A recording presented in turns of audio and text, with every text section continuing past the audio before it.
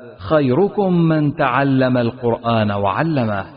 أعوذ باللہ من الشیطان الرجیم بسم اللہ الرحمن الرحیم الذين ينقضون عهد الله من بعد ميثاقه ويقطعون ما أمر الله به أن يوصل ويفسدون في الأرض. أولئك هم الخاسرون.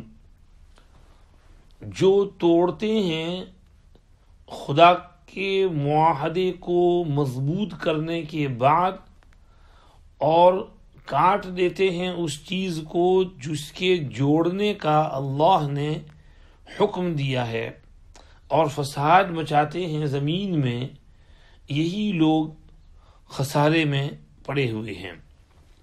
سورہ بقرہ کی آیت نمبر ستائیس کی تفسیر کر رہے ہیں۔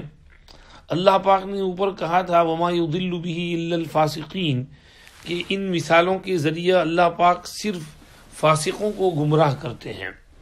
پیچھے ہم نے گمراہی کے معنی سمجھائے تھے کہ ہدایت کے معنی خلق و توفیق الخیر اور گمراہی اس کی ضد۔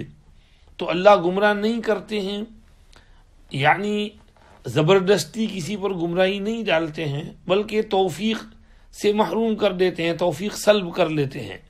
تو اس کا نام گمراہی ہے۔ اور جب کوئی شخص گمراہی مانگتا ہے، تو اللہ بھی پھر اس کو روکتے نہیں ہیں، دے دیتے ہیں اس کو ضلال گمراہی۔ تو صرف ان لوگوں کو گمراہ کرتے ہیں جو فسق کرتے ہیں۔ کون ہے فاسق؟ اللہ کہتے ہیں، ٹھیک ہے، تم جانا ہے، چلو اس راستے پر۔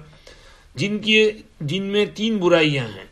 نمبر ایک، نقض العہد، کہ اللہ کے ساتھ ایک اگریمنٹ ہے، اس اگریمنٹ کو توڑ دیتے ہیں۔ اللہ کے ساتھ اگریمنٹ کیا ہے؟ جو اللہ پاک نے پیغمبروں کے ذریعہ لیا ہے کہ اللہ کو ایک جانیں گے، ایک مانیں گے، اللہ کی اطاعت کریں گے۔ وہ عہد بھی جو اللہ نے الست میں لیا تھا السط بربکم، کیا میں تمہارا رب نہیں؟ تو سب نے کہا تھا، بلا جی بے شک آپ ہمارے رب ہیں۔ پھر دنیا میں آ کر اس معاہدے کو توڑ دیا، باوجود یاد دہانی کے اس کو اب نبھاتی نہیں ہے اور ساتھ ہی اللہ پاک نے اہل کتاب سے خصوصی عہد لیا تھا کہ محمد صلی اللہ علیہ وسلم کی اتباع کریں گے، ان کی تصدیق کریں گے۔ تو یہ سب اگریمنٹ جو ہیں، جو لیے گئے ہیں ان سے، وہ اس کو توڑتے ہیں۔ اور دوسری برائی ان کی ہے، وَيَقْطَعُونَ مَا أَمْرَ اللَّهُ بِهِ يُوصَلْ۔ جس کے جوڑنے کا اللہ نے حکم دیا ہے، اس کو توڑتے ہیں۔ کیا مراد ہے؟ سلا رحمی، کہ رشتہ جوڑنا چاہیے، رشتہ داروں سے اچھا سلوک کرنا چاہیے۔ ماں باپ، دادا، دادی، نانا، نانی، چچا، پھوپھی، ماموں، رشتہ دار ہیں ریلیٹیوز ہیں۔ تو ان کے ساتھ رشتہ جوڑو۔ حدیث میں ہے سل من قطعک وعف عمن ظلمک واحسن الى من اساء الیک۔ لیکن یہ لوگ اس کا خیال نہیں کرتے اور رشتہ توڑتے ہیں۔ اور ابن عباس رضی اللہ عنہ سے منقول ہے کہ اس میں ہر قسم کے رشتے جن کے جوڑنے کا حکم دیا ہے، اس کو توڑنا شامل ہے۔ ابن کثیر لکھتے ہیں، المراد اعم من ذالک۔ صرف سلا رحمی نہیں، بلکہ سلا رحمی سے اور چیزیں بھی۔ اللہ پاک نے جس کا، جس کے کرنے کا حکم دیا ہے، اس کو چھوڑتے ہیں۔ اور جس کو جوڑنے کا حکم دیا ہے، اس کو توڑتے ہیں۔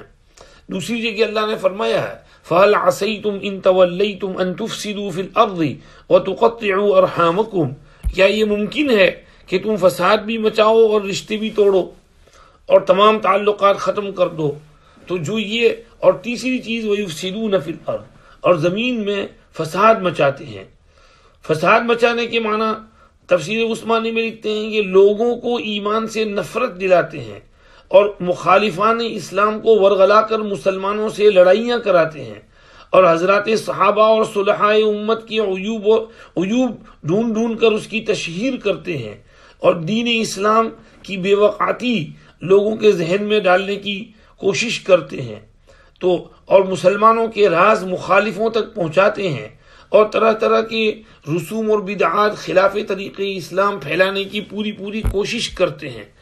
تو یہ ہر قسم کا فساد جو ہم فساد کہتے ہیں، اس میں لگے رہتے ہیں۔ جن میں یہ تین خرابیاں ہیں، وہ فاسق ہیں، ان کو اللہ بھی پھر گمراہ کر دیتے ہیں۔ اولئک الخاسرون، یہی لوگ خسارے میں پڑے ہوئے ہیں۔ دنیا کا بھی خسارہ، آخرت کا بھی خسارہ۔ اور یہ اپنی ان ناشائستہ حرکتوں سے اپنا ہی کچھ کھوتے ہیں۔ دوسروں کا تو کیا نقصان کریں گے؟ اسلام کی کیا توہین کریں گے؟ صلح امت کا کیا نقصان کریں گے؟ خود اپنا ہی نقصان کر رہے ہیں۔